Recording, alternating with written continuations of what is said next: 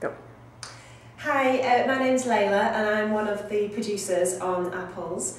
Um, I went to a dress rehearsal the other day and it was very exciting. It was actually my birthday yesterday. It was the most exciting thing that has happened to me all day, so I got really excited. Um, it's looking brilliant. The cast are doing really well. Um, and there's some really wonderful little moments um, with costume changes and things, some really wonderful, interesting imagery that goes on. Um, and it's just really, it's just, it's just so colourful and beautiful. It looks excellent. So I'm really excited to see what it looks like when it's finished. But all the costume changes, all the glitzy things for the, the Empire night, night scenes and all the little mini skirts that they're wearing, quite funny and clattering around in heels. So the girls have got quite a few um, quick changes. So it'll be interesting to see how they cope with getting, getting that spot on in terms of uh, getting it right for the first night. So we'll see how it goes.